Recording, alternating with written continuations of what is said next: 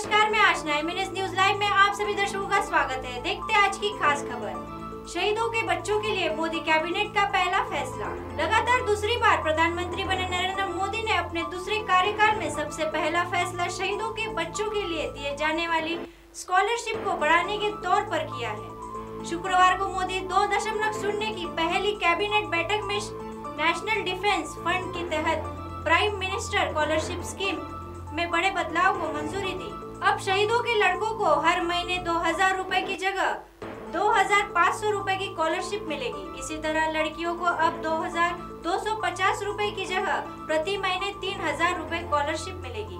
इतना ही नहीं scholarship scheme के दायरे को बढ़ाते हुए अब इसमें राज्य पुलिस को भी शामिल किया गया है। शहीद हुए राज्य पुलिस के जवानों, अफसरों के बच्चों को भी अब स्कॉलरशिप मिलेगी। उन्हें पाँच सौ रूपए सालाना स्कॉलरशिप मिलेगी।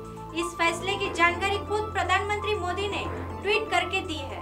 पीएम मोदी ने ट्वीट किया, हमारी सरकार का पहला फैसला उनको समर्पित है, जो भारत की रक्षा करते हैं नेशनल डिफेंस फंड के तहत।